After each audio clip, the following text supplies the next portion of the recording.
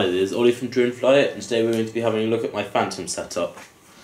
Now, I have my FPV computer here, which is just starting up, and I have my new copter case. Now, if you look below, you can see the link for that video re review. So, it opens up nicely like that, and so, here is the beauty itself, the DJI Phantom, with gimbal, with GoPro, with BTU, uh, with FPV, with uh, iOSD. It's got so much stuff attached. Now, I had a bit of a mishap with my antenna, so I decided to place it inside. At the moment, my the, the range hasn't been affected that much. Just gonna put the password in on my computer. You're not seeing the password?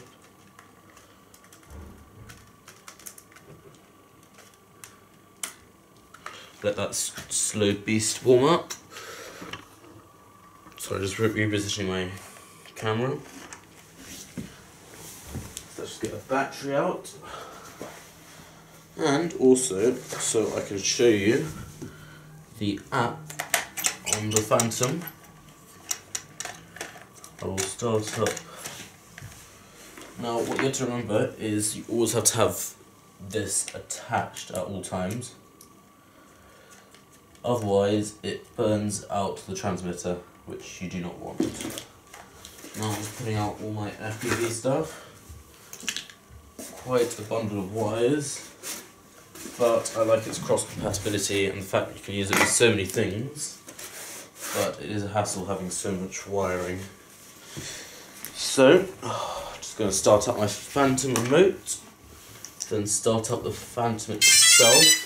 By the way, I've got the propellers off because the propellers, the vision propellers won't work in the case, so I've taken them off. And for this demonstration, we're not going to fly, so I think it's okay having them off. So now I'm just plugging in this adapter. I got this off first person view, which I sort of got bullied into doing it from Simon, or whoever the CEO is, or the guy who owns it. Uh, because he just kept saying he just kept like saying on the post he kept saying oh well we sell the right product to do it we keep, we sell the right product to do it and I was like oh I can't bother to go through all the fuss. Let's just go with Simon's system and let's hope it works. And it does work and it works beautifully. Um, the idea of using this CCTV camera is mine. I have never actually seen people using the same system before and if you if you're using the same system, just leave a link in the description. So we're just attaching, just using the software I use for the FPV. Now, for some reason uh, I've got a feed from the GoPro. You turn the GoPro, so you can get a feed from that. We've haven't been very responsive, so the gimbal has turned off.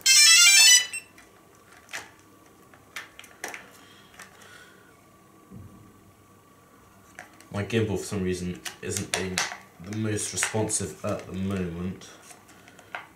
There we go. It might perk up in a minute, it might not. Uh, it's doing this annoying thing which sometimes doesn't want to sometimes doesn't want to turn on, which is really annoying, but I'm getting that error fixed. Yeah, so as you can see on this computer, you have the FPV and all the telemetry data. You can see that we've got, I'm just going to check that you can see the screen. It, I'll bring it a bit closer. You can show the satellites here, if it's going up or down. You can show the line, which way it's going, where it took off from, just some other information, battery there. So that is very useful. Also says, uh, just moved it away, you can't see. It also says if what mode it's on. So now I'm going to open up the NAZA-M Assistant app.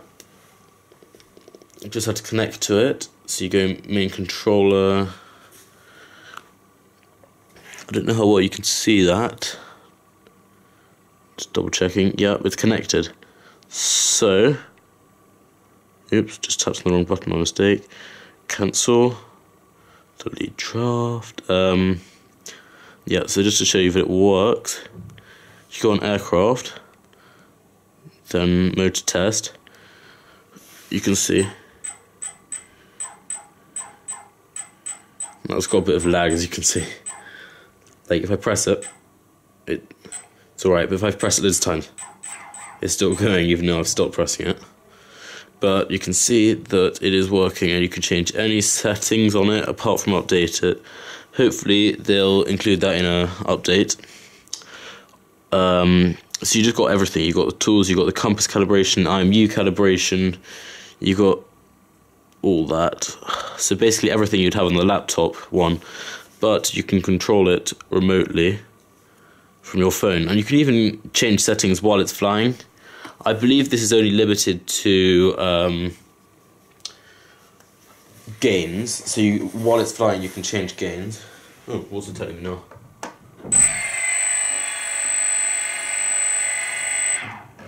That's telling me it's got bad yeah, um, I'm to unplug it, but you can see, yeah, basically I've got my telemetry data here, the feed. I'm only using a 25 megawatts receiver at the moment, uh, because I had some recommendations that the, oh I know what it is, the battery's up, because there's an old battery. Um,